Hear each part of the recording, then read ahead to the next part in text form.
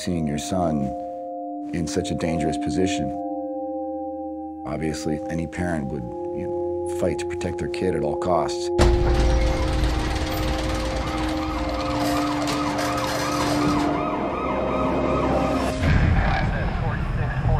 Defending Jacob tells the story of a prosecutor whose 14 year old son is charged with the murder of a classmate.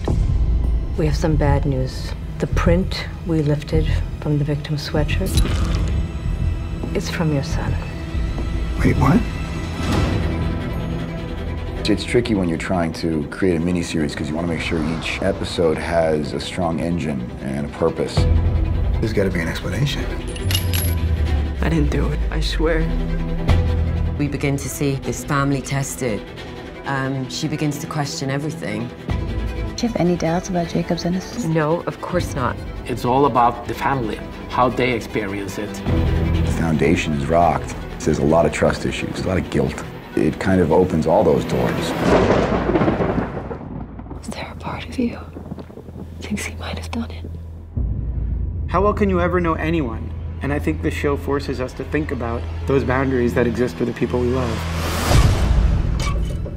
Once you open Pandora's box, it's those scary corners you don't want to explore.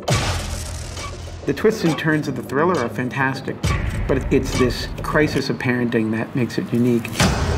What are you willing to do as a family? How well do we know our children? How far are we willing to go? The interesting thing about this show is that it's not shot as a TV show. It's shot like an eight-hour movie. I know you think you know Jacob, but you don't. Did he do this? There's a cliffhanger for every episode. I can't find a move. It's because you don't have one. Jacob, how's he doing? Whoa, whoa! You think this is a joke? I can't play this game anymore. Did you do it?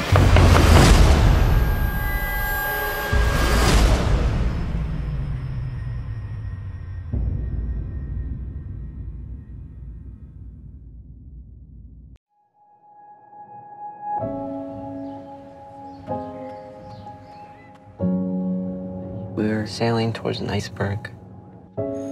This little white peak in the distance getting closer and closer. But really, it's been underneath us the whole time. There's nothing worse than a kid. We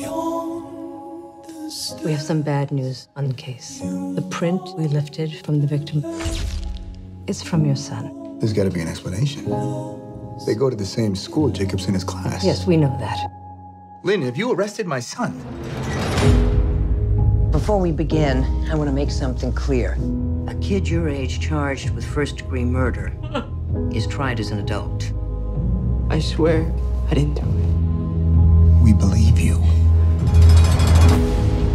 You have admitted to being in the park, and a fellow student alleges you had a knife you would bring to school. I guess so.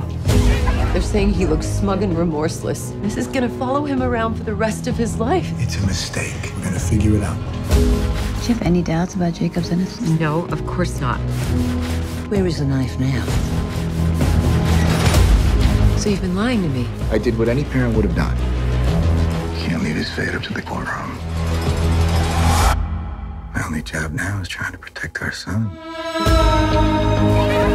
We're prisoners in our own home, acting like we're normal. We are normal. Oh my god, do you think this is normal? We gotta get answers for ourselves. I know what you did!